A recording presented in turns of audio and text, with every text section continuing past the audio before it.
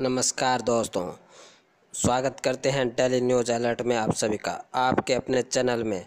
दोस्तों, daily news alert आपके लिए लेकर आए हैं बड़ी ब्रेकिंग न्यूज़, बड़ी घोषणा। कमलनाथ सरकार की ओर से जारी बड़ी घोषणा, जो कि प्रदेश के खिलाड़ियों और छात्रों के लिए खिलाड़ियों को देने जा रही है बड़ी सौगात।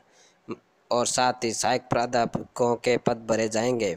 तो दोस्तों, ये पूरी बड़ी खबर आप देखिए विस्तार से, जानिए इस खबर के माध्यम से।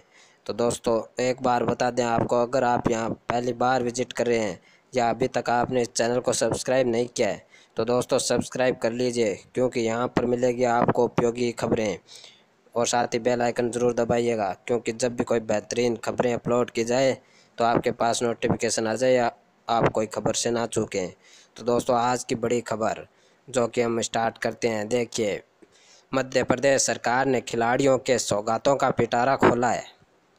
अब अंतर्राष्ट्रीय खेल प्रतियोगिताओं में स्वर्ण पदक जीतने पर राज्य के खिलाड़ियों को दो करोड़ रुपए की राशि प्रदान की जाएगी। खेल मंत्री जीतू पटवारी ने विधानसभा में विभागीय बजट की अनुदान मांगों पर हुई चर्चा का जवाब देते हुए ऐलान किया। उन्होंने बताया कि इस संबंध में जल्दी ही कैबिनेट में प्रस्ताव लाया जाएगा। वहीं सभी विभागों में खिलाड़ियों को दो प्रतिशत आरक्षण की व्यवस्था की जाएगी। और बता दें कि अभी अंतर्राष्ट्रीय खेल प्रतिस्पर्धाओं में स्वर्ण पदक जीतने पर एक करोड़, रजत पदक जीतने पर पचास लाख और कांस्य पदक जीतने पर पच्चीस लाख रुपये देने का प्रावधान है। तो इसी सिलसिले में ये बड़ी खबर है दोस्तों तो ये खबर जानिए विस्तार से। वीडियो पूरा देखिए और ध्यान से देखिए।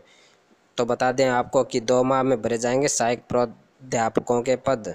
तो उच्च शिक्षा, खेल एवं युवा कल्याण मंत्री जितू पटवारी ने विधानसभा में कहा है कि महाविद्यालय भवनों के लिए भूमि आरक्षित करने के लिए जल्द ही गाइडलाइन जारी की जाएगी। उन्होंने कहा है कि दो माह में सहायक प्राध्यापकों के पद भरे जाएँगे तथा पीएससी से चयनित 214 पद पर क्रीड़ा अधिकारी और ग्रंथपाल की नियुक्ति की जाएगी। तो उन्होंने कहा कि अतिथि विद्वान जिन्होंने 10 से 15 वर्ष की सेवा की है, उनका विशेष ध्यान रखा जाएगा। तो दोस्तों, ये दोनों बड़ी खबर जानिए विस्तार से। तो आपको बता दें कि स्वर्ण छात्रों को 1500 की किताबें और 500 की स्टेशनरी। तो देखिए दोस्तों, प्रदेश के सभी शासकीय महाविद्यालयों यानी कॉलेजों में अध्ययनरत स्नातक एवं स्नातकोत्तर कक्षाओं के अन्य पिछड़े वर्ग और आर्थिक रूप से कमज़ोर विद्यार्थियों और 10 प्रतिशत गरीब स्वर्ण विद्यार्थियों को पंद्रह सौ रुपये के पाठ्य पुस्तकें तथा पाँच सौ रुपये की स्टेशनरी निःशुल्क प्रदान की जाएगी। अभी तक यह व्यवस्था अनुसूचित जाति, अनुसूचित जनजाति के विद्यार्थियों के लिए थी। उच्च शिक्षा मंत्री श्री पटवारी ने कहा कि महाविद्यालयों में शैक्षणिक गुणवत्ता में वृद्धि के लिए 2000 स्मार्ट क्लासेज 200 लैंग्वेज लैब तथा 200 ई लाइब्रेरी निर्मित किए जाने का प्रावधान है।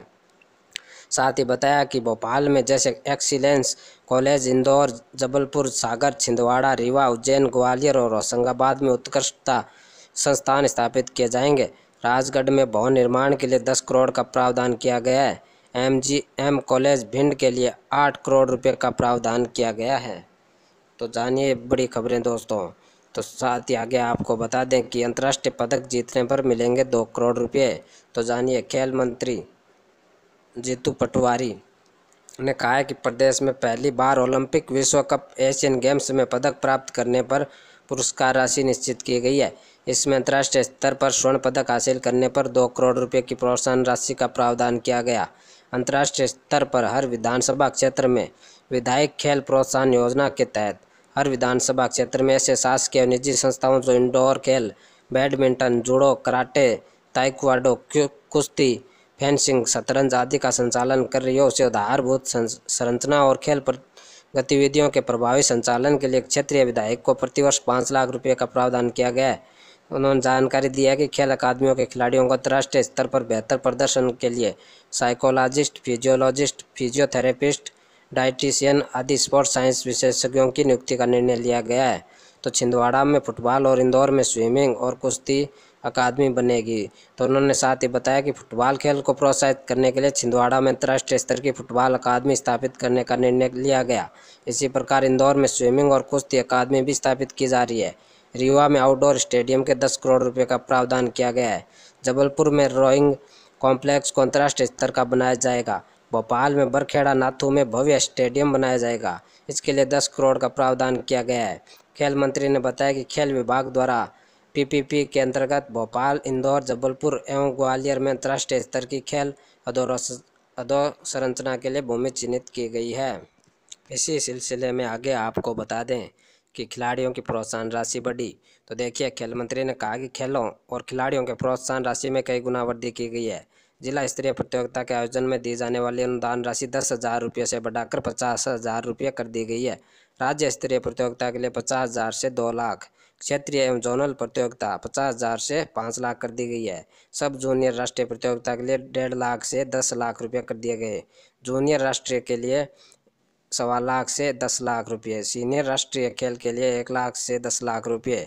सब जूनियर अंतर्राष्ट्रीय प्रतियोगिता के लिए दो लाख से बढ़ाकर पच्चीस लाख का प्रावधान वर्तमान में किया गया है। इसी प्रकार जूनियर अंतर्राष्ट्रीय प्रतियोगिता में एक लाख पचहत्तर हज़ार की राशि को बढ़ाकर पच्चीस लाख रुपये और सीनियर राष्ट्रीय प्रतियोगिता के आयोजन के लिए डेढ़ लाख को बढ़ाकर पच्चीस लाख रुपये किया गया है। खेल मंत्री ने कहा है कि प्रदेश में वर्ल्ड चैंपियनशिप के आयोजन के लिए पचास लाख रुपए का प्रावधान किया गया है।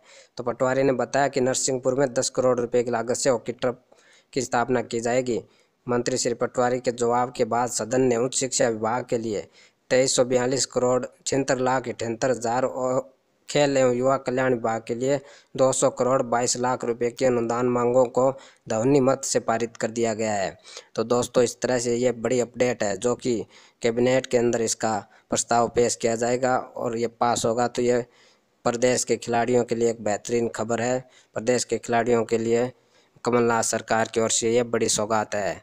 तो दोस्तों, आपके लिए ऐसे ही बेहतरीन खबरें लेकर आता रहेगा डेली न्यूज़ अलर्ट। तो साथ बने रहिए, वीडियो पूरा देखने के लिए बहुत